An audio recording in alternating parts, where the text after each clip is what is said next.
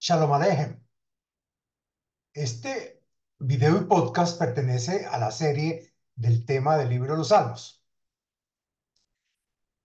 En este video y podcast del contenido de los Salmos hablaremos del Salmo número 119, Lamet, del Salmo.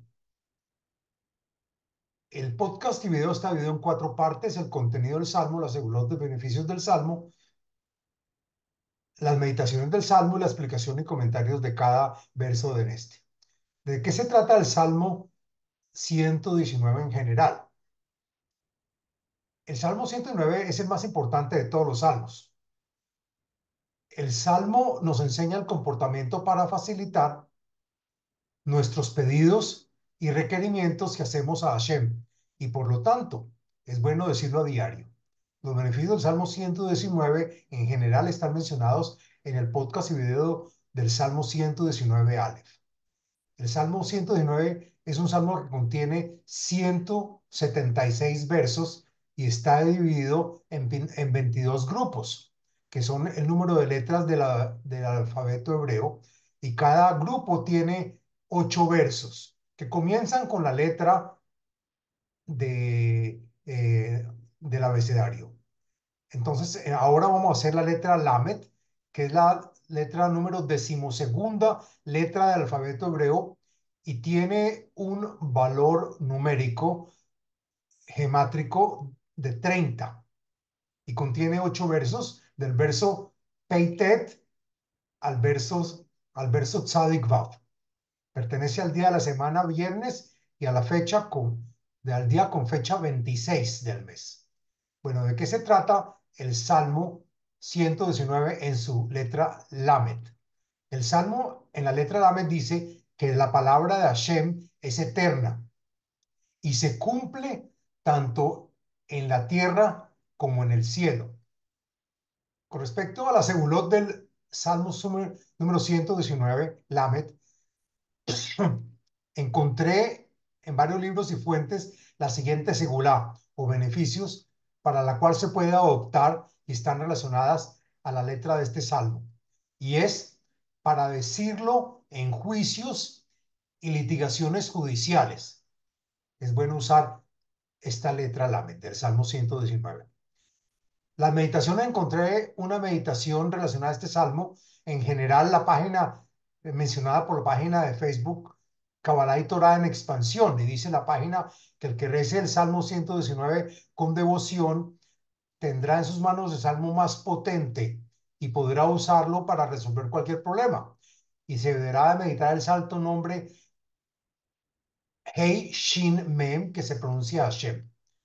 La explica... Ahora hagamos la explicación del texto del Salmo 119 en su letra Mem. La siguiente es la explicación del contenido y los comentarios del texto del Salmo. Leolam Adonai Bareja Nitzaf Bashamay. Como lo dijiste en la creación del mundo, que haya un cielo y se creó el cielo. Agrega el comentarista Sforno que la palabra de Hashem es válida y eterna. Ledor Vador Emunateja Conanta, Eretz, Bataamot. Generación tras generación sigues fielmente manteniendo y fortaleciendo el mundo. Tú creaste y, lo y fundamentaste la tierra para la eternidad. Limishpateja Amdu Hayom y Jacob Abadeja. El cielo y la tierra existen solo por tu palabra. Obedecen tus decisiones y, reglamentadas todas hoy, pues todos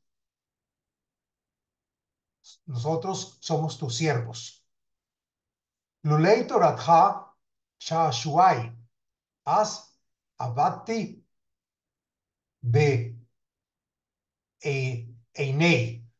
Dice el comentarista Radak que dado a que tu palabra se, se cumplen la tierra y el cielo, te pido que cumplas tu palabra de salvarnos de las manos de las naciones, pues si no fuera por tu Torá, que me entretiene y me hace feliz, hace ya tiempo que estaría perdido. Leolam lo eshkach kibam haitani. Por lo tanto, nunca olvidaré tus órdenes y, y mandamientos, así tenga problemas, pues estos son los que dan rigor y fuerza a mi vida, es decir, los mandamientos. Leja ani hoshieni pikudeja darashti. Y porque yo soy tu siervo, te pido que me salves, pues acaso no siempre acato tus mandamientos y tu Torah. Li kivu rashaim leabdeni, edoteja edbonan. Los, los malvados siempre desean aniquilarme y solo me queda apoyarme en tu testimonio para revivir mi alma.